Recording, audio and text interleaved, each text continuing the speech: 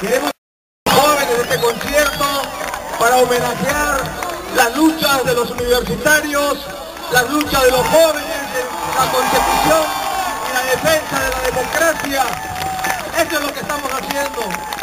Sabemos que ayer han marchado todos, han inundado las calles del Perú, no solamente Lima. No toda la prensa cubierto, pero no importa.